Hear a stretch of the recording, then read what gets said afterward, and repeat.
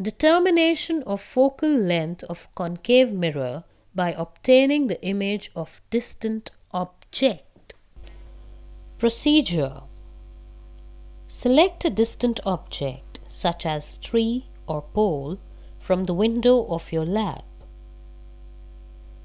Mount the concave mirror in a mirror holder. Adjust the concave mirror in such a way that the rays coming from tree fall on its reflecting surface.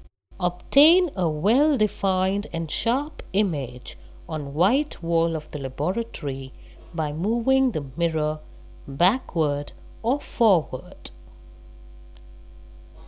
Measure the distance between the wall and concave mirror with the help of a meter scale as shown in the animation.